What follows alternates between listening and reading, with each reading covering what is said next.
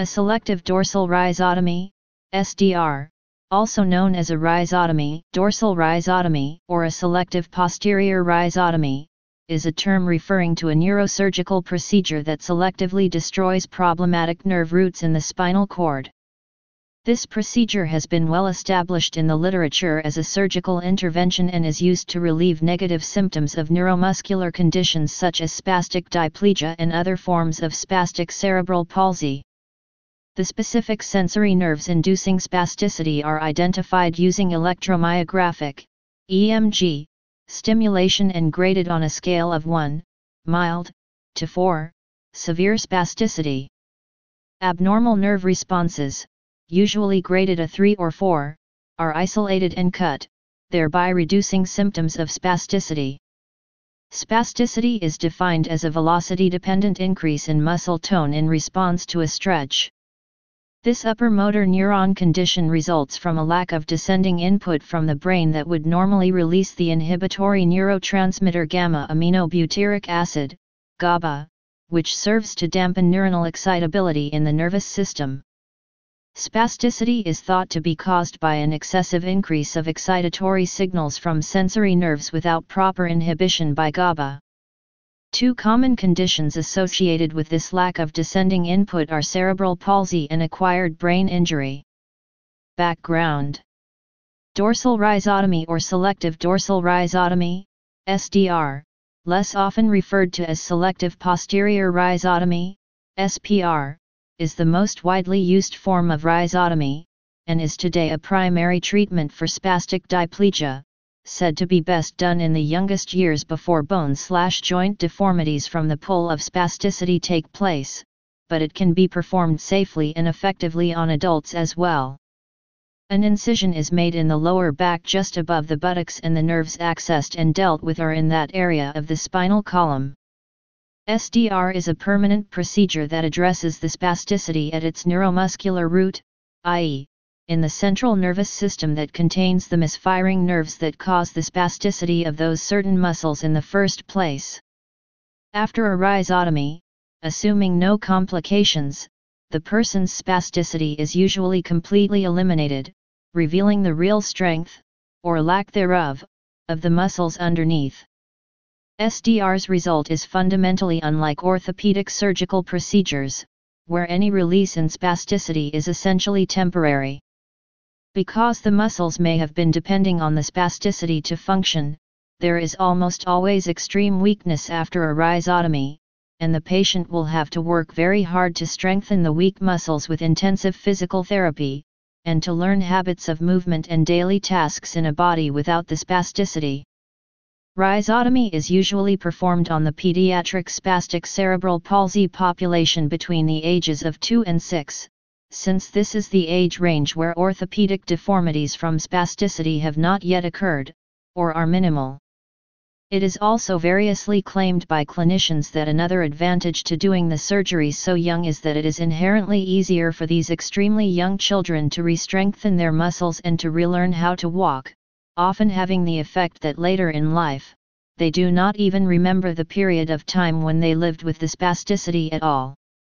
However, recent cases of successful SDR procedures among those with spastic diplegia across all major age ranges, years 3 to 40 and even above, has finally proven its universal effectiveness and safety regardless of the age of the spastic diplegic patient. A counter-argument against the prevailing view concerning the younger years is that it may actually be quicker and easier to re-strengthen an older patient's musculature and regaining of walking may happen faster with an older patient due to the fact that the patient is fully matured and very aware of what is going on, and so may work harder and with more focus than might a young child. These two schools of thought have equally objectively valid bases for their formation and thus are each defended quite intensely by their respective proponents. History In 1888, Robert Abbe in New York as well as W. H. Bennett in London independently performed the first dorsal rhizotomy in patients with ascending neuritis and sciatica, respectively. In 1898 C.S. Sherrington described relief of muscle spasticity by posterior root section in decerebrate cats. Between 1908 and 1912 Harvey Cushing performed three dorsal rhizotomies to improve his patient's quality of life. The 1913 use in Germany of the rhizotomy procedure by Ottfried Forster, often wrongly credited as the father of rhizotomy, was therefore actually not the first such use, since Sherrington's studies were used as a basis for performing posterior root rhizotomy for the relief of spasticity in the lower limb muscles. Rhizotomy for spasticity purposes did indeed then proceed to take about a 50-year hiatus for reasons as yet not thoroughly distilled from the clinical records and reports on the phenomenon. An explanation for this could have been the fact that with the Sherrington-Forster technique, postoperative sensory loss was too frequent, or by the fact that with their technique, spasticity often returned. In any case, it does appear as though rhizotomy for spasticity purposes continued to lie outside of any significant clinical use for the treatment of spasticity until its comparatively well-known turnaround to mild fame over the last quarter of the 20th century. In 1964, a Dr. Wilkins wrote that this operation had lost most of its original importance, but it still has historical significance as a major step in the development of modern techniques for the relief of pain. In 1967 Claude Gros and his colleagues at the Neurosurgical Hospital, Chu Gui de Chauliac, in Montpellier resurrected posterior rhizotomy for spasticity.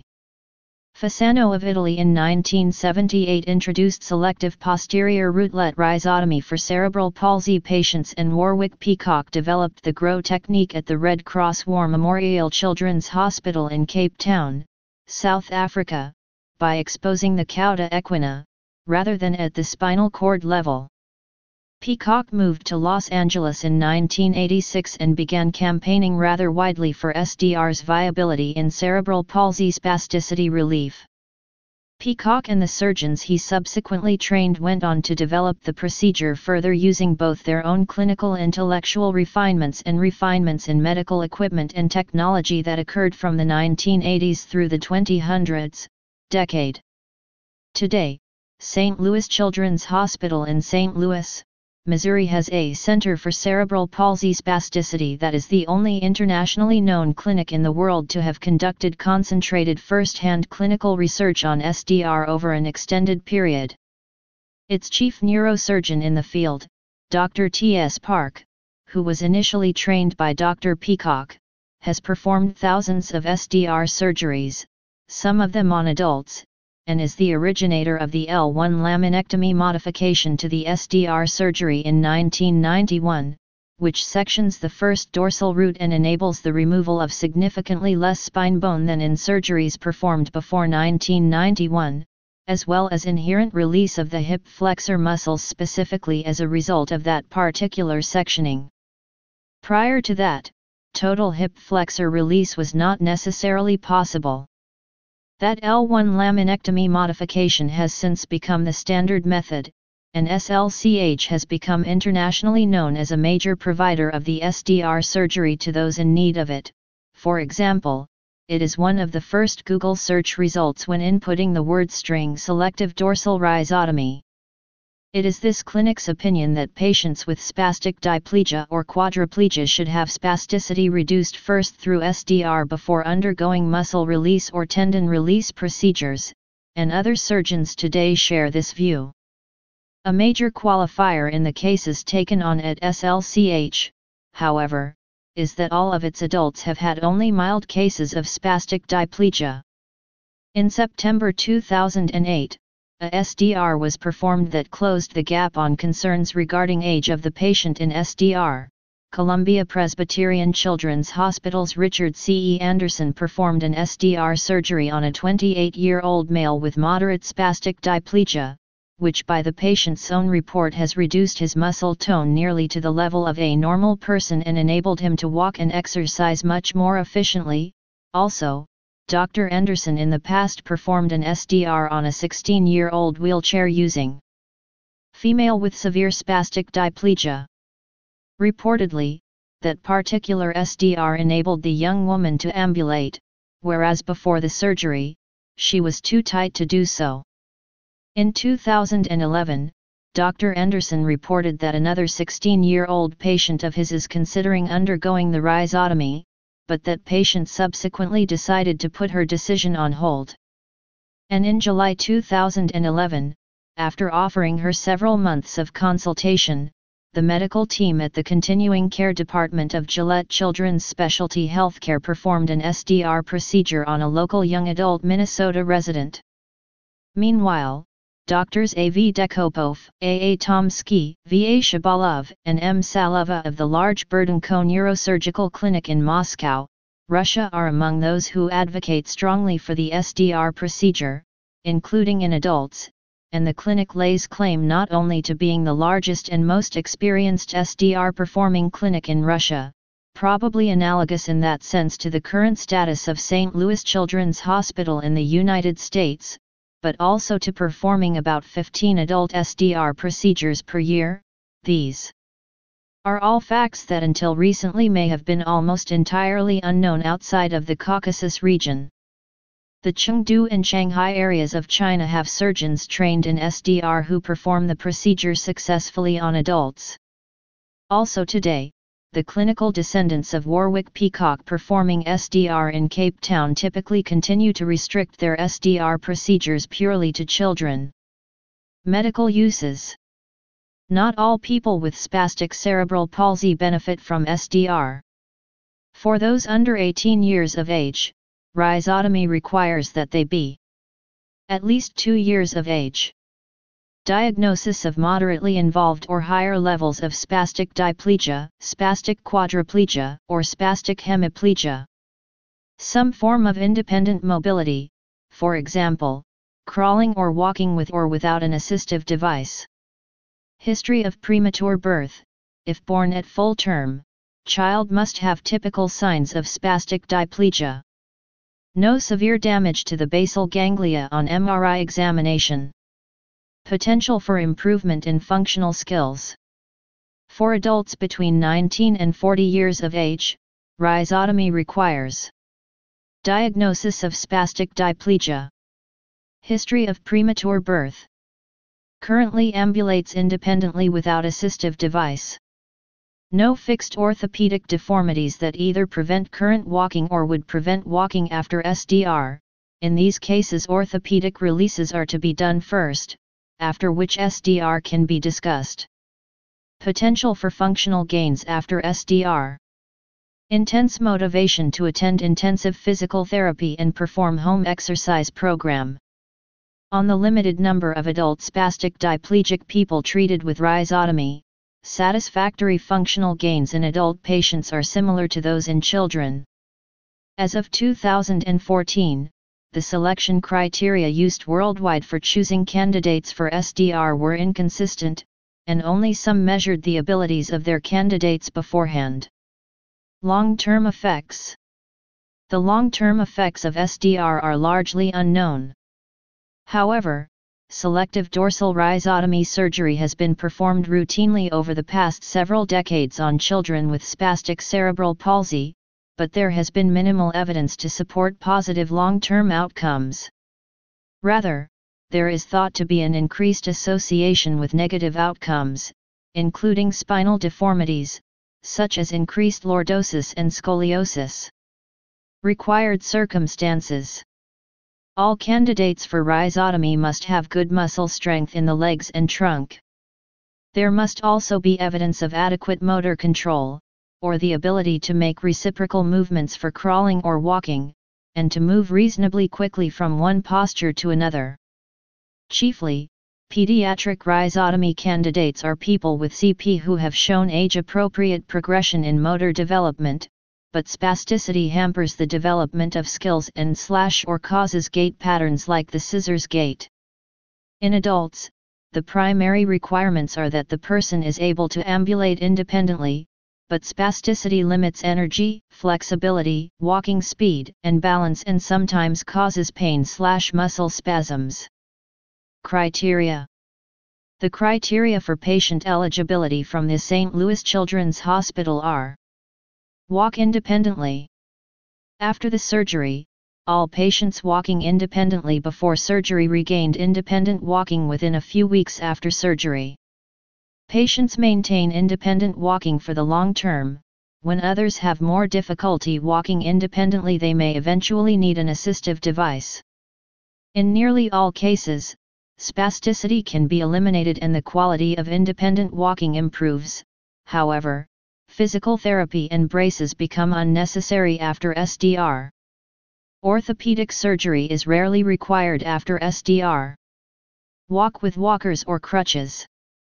In children who are 2-7 years old and walk with a walker or crutches before SDR, independent walking after the procedure is possible.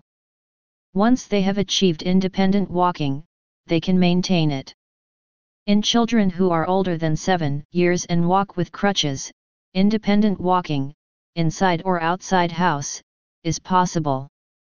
If they walk with walker at the age, they will most likely walk with a walker or crutches after the procedure, though it improves the quality of assisted walking and transition movements, and alleviates deformities of the legs. Many of these patients will need orthopedic surgeries after SDR. Contraindications There are a few clinical situations in which it is likely that someone may not be a candidate for the surgery. These situations include those who have suffered meningitis, a congenital, birth originating, brain infection, congenital hydrocephalus unrelated to the person's premature birth, a person who has suffered head trauma, or a person with some sort of familial disease, e.g., those with hereditary spastic paraplegia are said to not be SDR candidates. Also precluded are people who have a mixed CP with predominant rigidity or dystonia, significant athetosis, or ataxia, and those who have very severe scoliosis. However, as with any procedure, an individual evaluation is needed in all instances to determine eligibility. Procedural outline SDR begins with a 1 to 2 inch incision along the center of the lower back just above the waist. An L1 laminectomy is then performed, a section of the spine's bone, the spinous processes together with a portion of the lamina, are removed, like a drain cap to expose the spinal cord and spinal nerves underneath. Ultrasound and an X-ray locate the tip of the spinal cord, where there is a natural separation between sensory and motor nerves. A rubber pad is then placed to separate the motor from the sensory nerves. The sensory nerve roots, each of which will be tested and selectively eliminated, are placed on top of the pad, while the motor nerves are beneath the pad, away from the operative field. After the sensory nerves are exposed, each sensory nerve root is divided into 3 to 5 rootlets. Each rootlet is tested with electromyography, which records electrical patterns in muscles. Rootlets are ranked from 1, mild, to 4, severe, for spasticity. The severely abnormal rootlets are cut. This technique is repeated for rootlets between spinal nerves L2 and S2. Half of the L1 dorsal root fibers are cut without EMG testing. The neurosurgical team at Seattle Children's Hospital has modified the surgical approach described above by tailoring the selection of nerve root sectioning to the individual patient. This technique selectively analyzes each individual nerve root with electromyography to separate dorsal and ventral nerve roots through comparison of stimulus responses. Researchers have utilizes objective feedback from the nerve root compared to the above-mentioned approach that relies on subjective visualization to identify motor versus sensory nerve roots, thus improving the likelihood of sectioning only those nerves of interest. Another important difference between the two approaches is the location of the laminectomy to expose the nerve roots. At Seattle Children's, the laminectomy is performed below the termination of the spinal cord, conus, potentially reducing the risk of injury. When testing and corresponding elimination are complete, the dura mater is closed, and fentanyl is given to bathe the sensory nerves directly. The other layers of tissue, muscle, fascia, and subcutaneous tissue are sewn. The skin is typically now closed with glue, but there are sometimes stitches to be removed from the back after three weeks. The surgery takes approximately 4 hours and typically involves one neurosurgeon, one anesthesiologist, and possibly an assortment of assisting physicians, as in the New York City September 2008 case. The patient then goes to the recovery room for 1-2 hours before being transferred to the intensive care unit overnight. Transfer from the ICU to a recovery room in the hospital is then done to enable direct post-surgical observation by the neurosurgeon and surgical team, but this usually lasts only about three days, during which the team performs range of motion tests that they record and compare to pre-surgery levels. After that short period, the patient, depending on circumstances and appropriateness, is either transferred to inpatient recovery or is linked to an intense outpatient exercise program and discharged from the hospital. According to clinicians, it usually takes about one year from the date of surgery to achieve maximum results from SDR. However, videos from St. Louis Children's Hospital website have shown continued marked improvement as much as five years post-surgery, and presumably, if the person keeps exercising intensely, potential for continued improvement and strengthening is, just as in a person born with normal muscle tone and range of motion, unlimited. Selective dorsal rhizotomy does not alleviate contractures caused by spasticity from before the surgery takes place, it simply prevents any more contractures or spasticity from occurring in future. With or without rhizotomy, the only way contractures can ever be relieved is via orthopedic surgery. Fixed orthopedic deformities of the legs caused by the previous years of intense spasticity are also not relieved by the nerve surgery and must also be corrected surgically.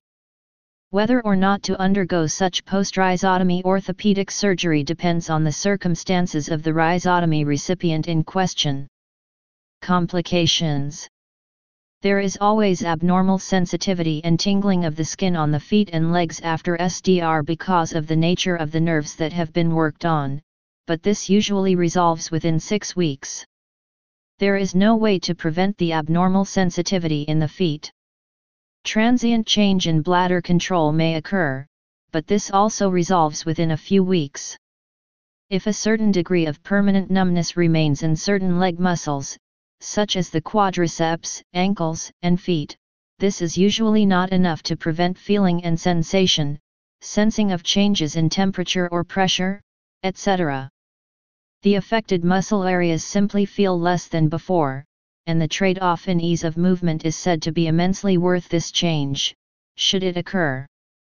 In general, there is a combined 5 to 10% risk of any of the following more serious risks happening as a result of SDR.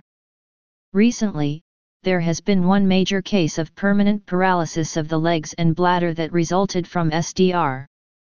The patient was 10 years old when the surgery was performed in 2009 at Gillette Children's Specialty Healthcare in St. Paul, Minnesota. Permanent paralysis of the legs and bladder. Permanent impotence. Sensory loss and slash or numbness that is severe enough to not feel anything anymore in the legs, not paralysis, movement is retained. Wound infection and meningitis, usually controlled with antibiotics. Leakage of the spinal fluid through the wound, also reparable, the surgical team watches very closely post-surgery for this. A few patients in St. Louis experienced urinary tract infections and pneumonia, but these were successfully treated. Post-surgical rehabilitation Outcomes following a SDR can vary based on the number of nerves cut during surgery, joint deformities, muscle contractures, and level of impairment before the procedure. Following the procedure, the child will likely experience muscle weakness, which can be corrected with physical therapy, PT. PT is imperative to restore functional status in the shortest amount of time. Physical therapy post-SDR aims to promote independent walking, improved gait pattern, transfers, balance, and upper limb motor control. It is important to remember SDR does not cause permanent muscle weakness, rather it is temporary a few weeks following the procedure. A strengthening program is beneficial to combat this expected weakness and improve lower extremity range of motion and facilitate a near normal gait pattern. This Leeds Children's Hospital website was used as a sample post-rehabilitation protocol. Week 1 post-surgery, the child will typically have 30 minute physical therapy sessions for the first four days, followed by an increase up to 45 minutes during days 5 to 7. During the second week, sessions range from 45 to 60 minutes with a focus on stretching, strengthening, developmental milestones, if appropriate, and a standing program. If necessary, an orthotic assessment can be performed during the second week. Weeks 3 through 6 focus on the previously mentioned items but adding gait training, assessment for the need of assistive devices, and preparing a home program for the patient.